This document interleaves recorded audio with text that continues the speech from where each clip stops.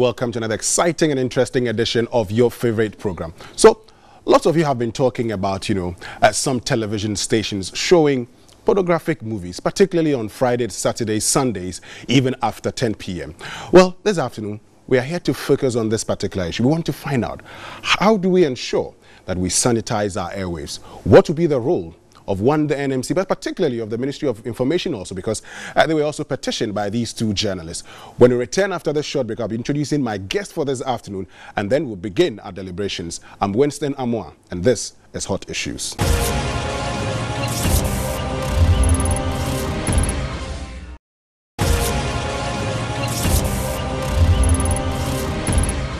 All right, so welcome back from the short break and thanks for staying with us.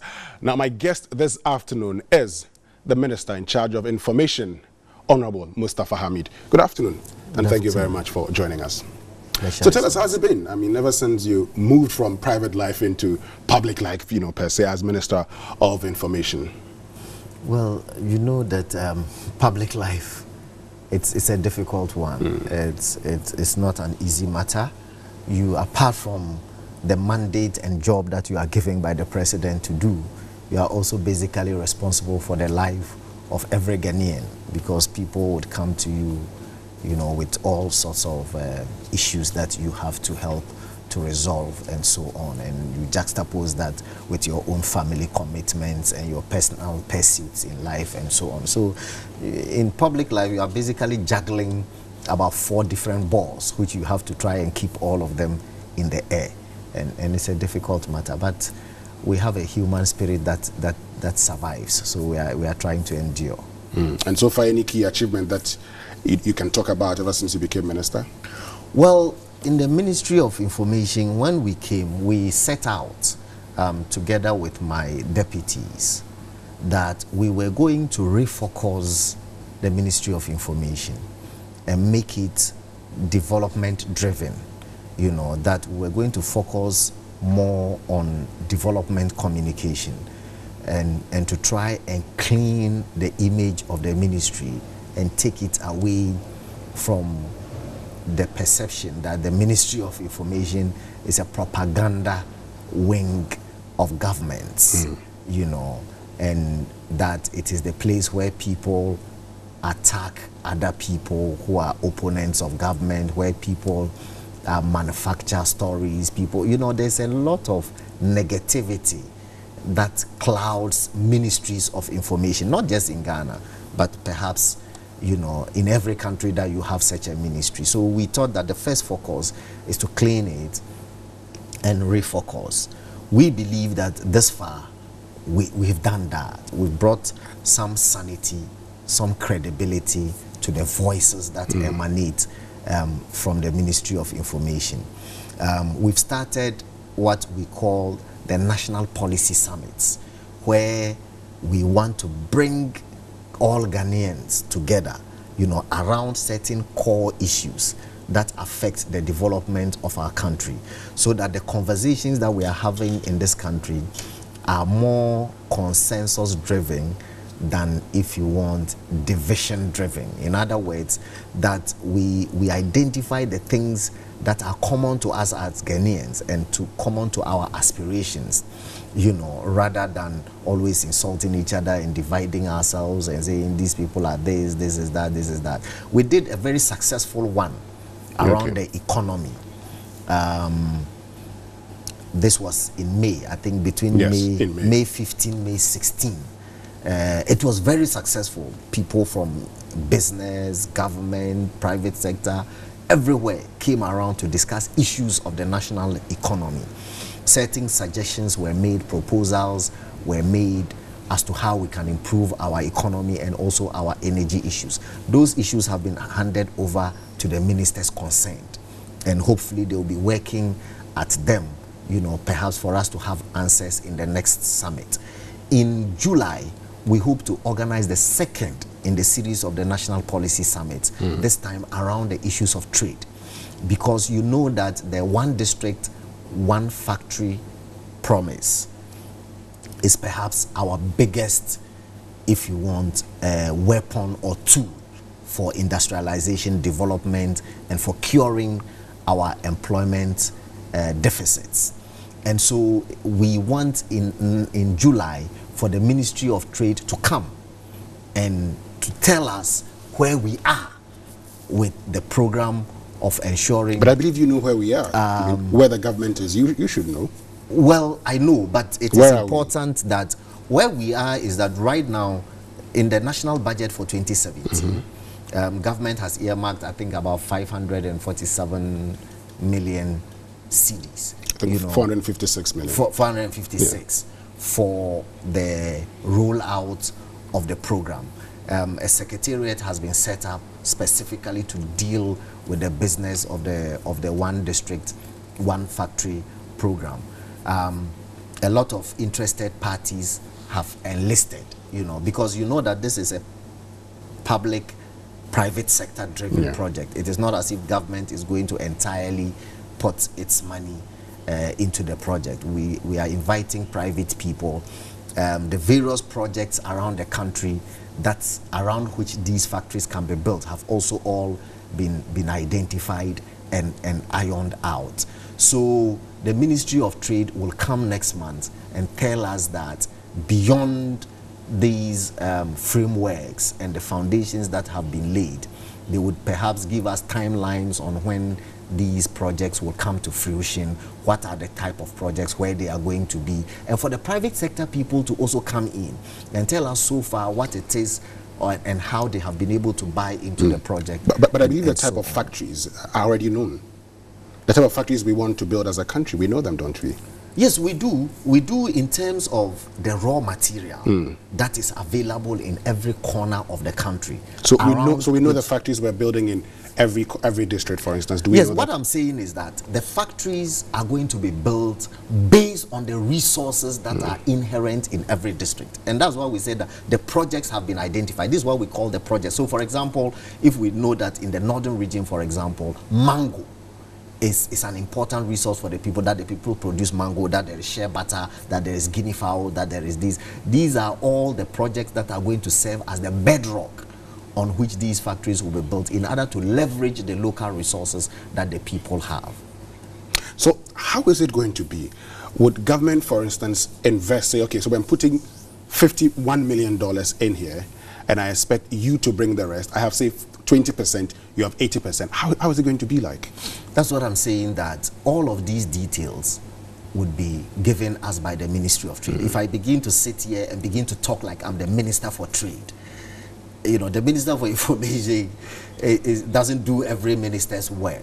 That's why I'm saying that the the component. I know the money that has been devoted. The public knows. Yeah, but as to how the, every district what they will get, that's the business of the minister. Okay. for Well, but the president, in, in, in sending uh, uh, you know your name to Parliament, said Yeah. as my minister of information. Yeah. And so I'm, I'm, sure when we need information, we can always come to you. But well, let's move but that's on. that's the point I'm making. Yes. But you don't you don't pretend as minister for information to do every minister's job. I'm not sure that's also the job of the minister for information. All right. So uh, let's move on.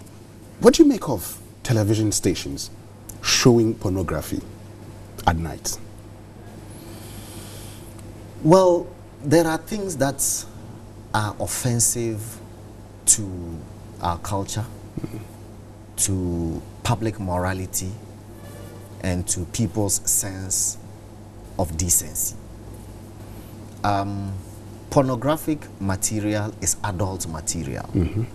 And more specifically, it is private adult material. It is material that adults can access in, in private. It is not meant in our circumstances for public show and for public consumption. At least that is the, the moral sense that we have carved for ourselves as a nation.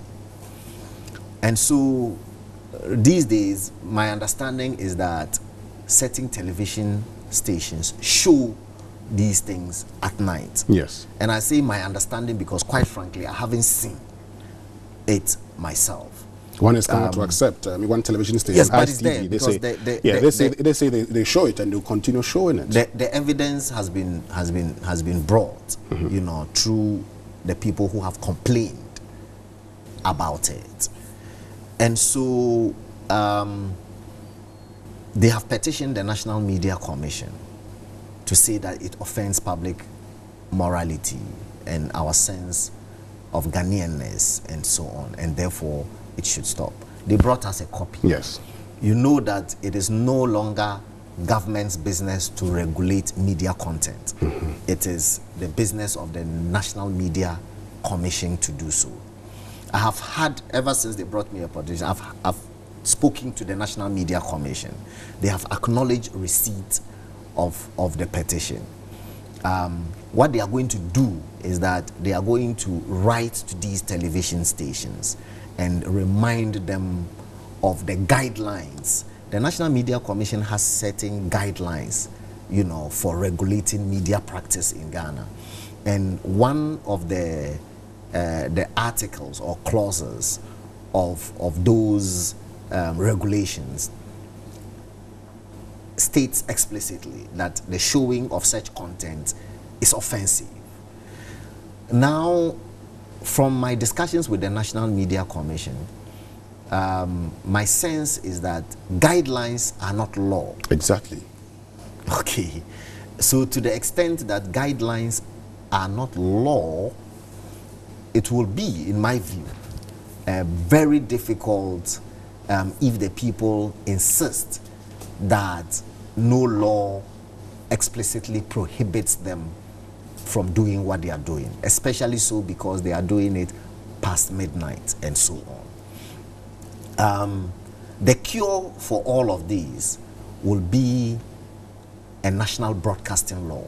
Mm-hmm. The National Media Commission itself tried to cure this some time back with what was then called the LI 2224. Um, which sought to say that the National Media Commission should be empowered, you know, to censor certain content, certain media content. The Ghana Independent Broadcasters Association went to court against LI 2224 and won. Uh, and when I say winning, what it means is that the Supreme Court held that some of the provisions of LI 222 um, offended the rule. Amounted to censorship. Exactly. Something the Constitution speaks But exactly. For, for you personally, do you think it's right for these stations to do so, personally, in your opinion? Well, in my opinion, it is not right. In, in my opinion, I have said that um, matters of pornography and, and, and all of those things are private adult material in my view. So they are mm. material that if you are an adult you are above 18 years. Because i believe that even if you were to go in, onto the internet to access pornographic material every internet site would want to be sure that you are an adult. They mm. would ask that are you above 18 and so on. So the point is that it is general agreement around the world that such material is adult material. That's number one. Now, when you come to the African context, um, sex is hedged in Africa. okay, so to the extent that sex is also hedged, will, will mean that in, in our African setting, it is not correct to show that material. Yes, but if there isn't demand for it, they wouldn't be showing it. I don't know whether you can talk about demand past 12 midnight. I'm not sure that there is more than I, I don't I don't have figures, but I'm not sure that more than 10% of the population would be awake after 12 midnight to watch television. If, if even if 10%, I'm not exaggerating. I'm sure perhaps less, less, far, far, far less than that of the population will be awake. Well, because so I mean, I'm not sure that it is, it is mean, a demand. At the universities, for instance, just to chip this in, yes. at the universities, for instance, uh, what many of the guys called R18, you had lots of guys staying up late to go and watch it on DSTV at the time. They, they call it R18. Okay. Really? Oh yes. Okay. R18. I mean, yes. I mean, all the guys who are watching and they know this. R18. And Ice TV has come out to say, and there were a lot of conversations on Facebook, for instance. People started by saying, "Do you know they show pornography at this time?" And then it caught up, and people began tuning in. And that's maybe we're just, you know, some of us yes do not like it, but there are lot, there, there are some also who like it. And the bit about children, they argue that after midnight, who gets to watch that? Well, it may be true that after 12 midnight, children aren't awake or are not supposed to be awake because you cannot guarantee that firmly. Because these days there are children in SHS and so on who also learn at night, who wake up to burn the midnight candle and, and so on. So we cannot also guarantee totally that um, at midnight children are awake. That's why in other jurisdictions, okay, this particular content is called, is on pay TV okay, so that adults who have access to a credit card or a debit card and want to watch porn. In, in that sense, it may not even have to be midnight. In the private of your home, if you think that your children have gone to school and so on, you can pay and access that search material and watch. Search material generally around the world is not free to air. And that's, and that's the problem. Such material generally is not free to air. It, it is on pay TV. And so even if we were to say that they have the right to air that content, it, it is better if it was on pay TV rather than if it was a, a free-to-air program. Mm. Well, We'll come back and talk about the issues some We'll find out how we can deal with this and issues of the broadcasting law that you talked about. Still live on Hot Issues with me, Winston And My guest this afternoon is the Minister of Information, Honorable Mustapha Hamid. We go for a short break. Stay with us.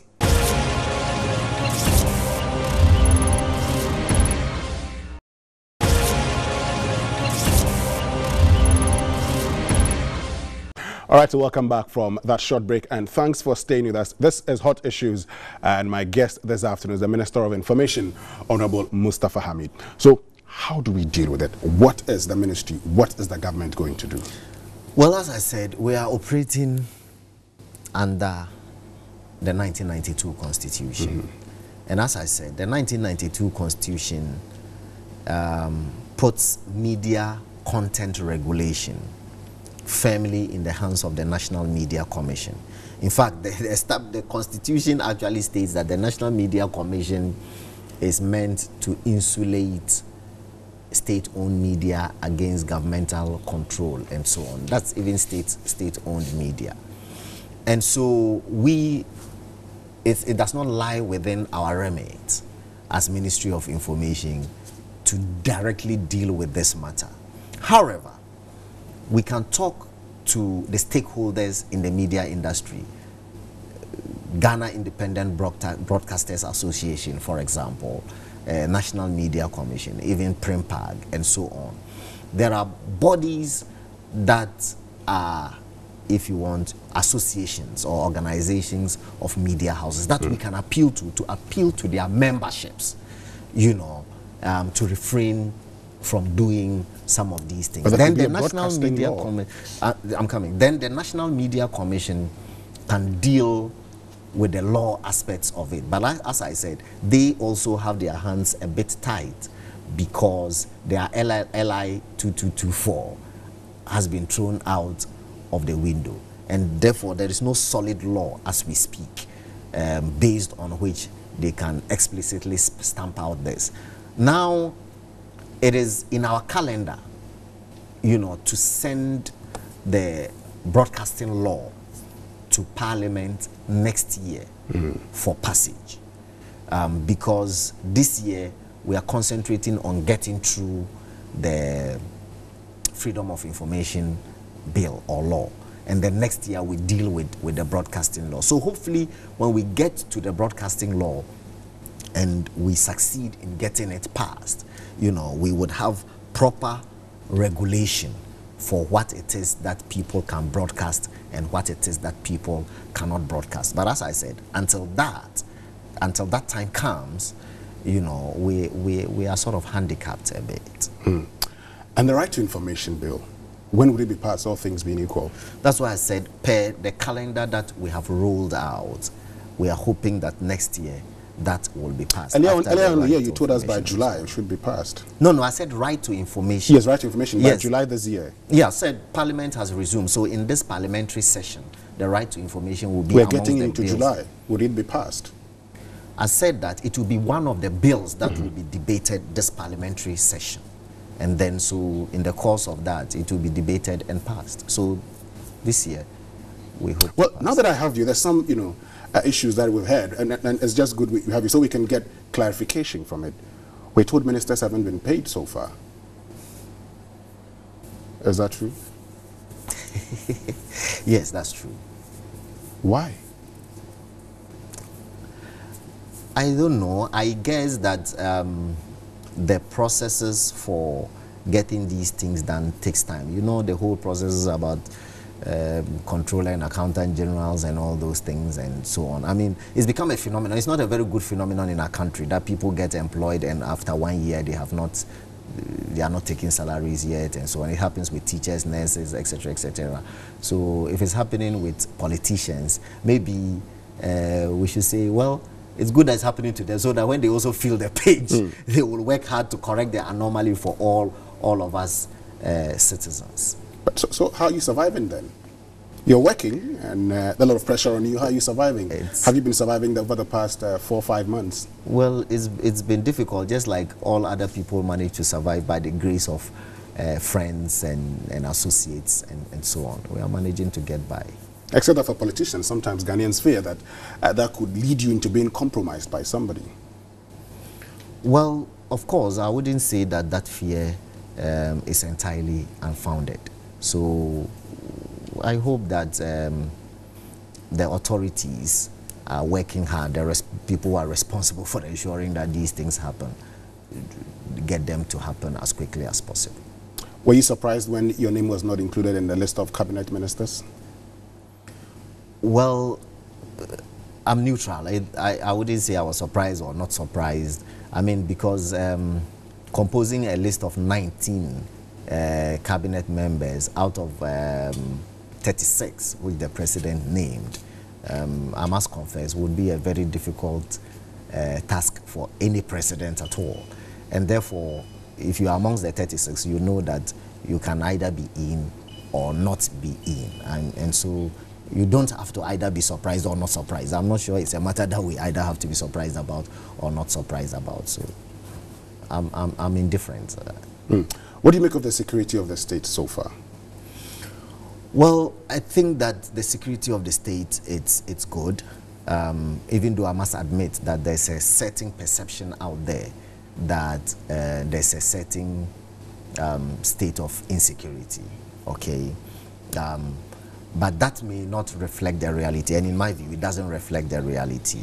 Um, there have been three isolated incidents, you know, that have tended to heighten uh, this, this perception.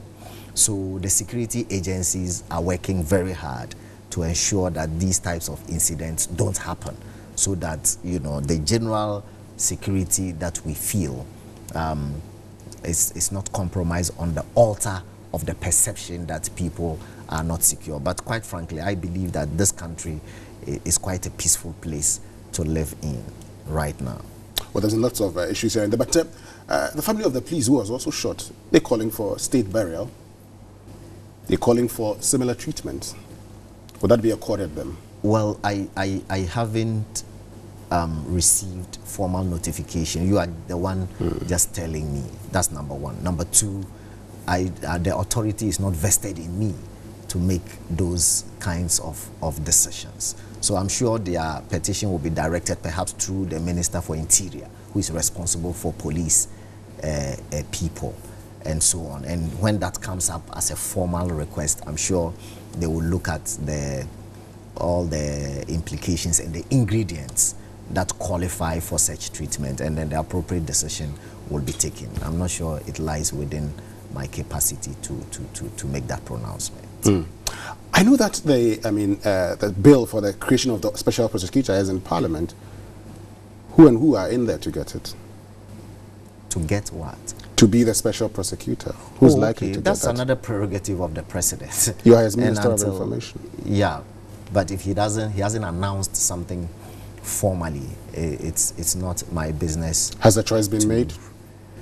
Um, maybe in, in his mind he has an idea who he wants, but it's not something that he has communicated to me and mandated me to put out. Or it's not something uh, that you should tell us now? Of course, I shouldn't tell you. That yes. One, of course I shouldn't. Great. Yeah. I get that point. Yeah. All things being equal, when is that announcement going to be made?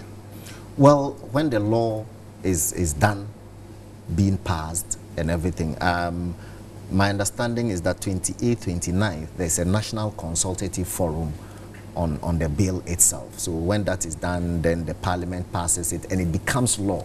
Then at that point, the president is clothed with the power to make that appointment and then he will make the appointment and we'll get to know what are the ideas in his head as to who qualifies to fill that position.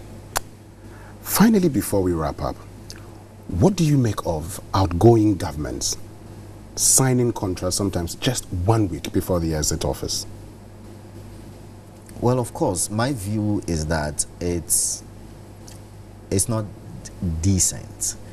Um, even though you would we would recognize that your mandate has not expired until it has expired. mm. What it means is that every president has a mandate to govern the country until January 7. I mean, uh, of every four years.